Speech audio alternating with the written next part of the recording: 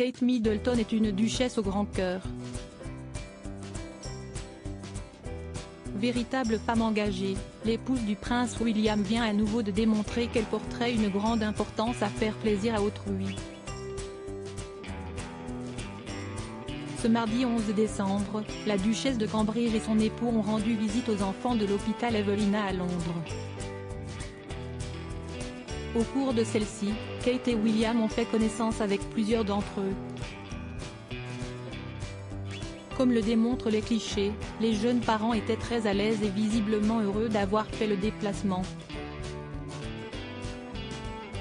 Ils n'ont pas hésité à donner de leur temps, à s'amuser avec eux et engager la conversation. Cette visite fait suite à la nomination de Kate Middleton comme marraine de l'établissement. Une offre qu'elle n'a, bien sûr, pas pu refuser. Une véritable joie pour le personnel médical et les enfants, assure Marianne Ridley, la directrice des lieux. Ils étaient tout ravis et honorés, a-t-elle déclaré avant de confier être impatiente de collaborer avec la duchesse, comme le rapporte People.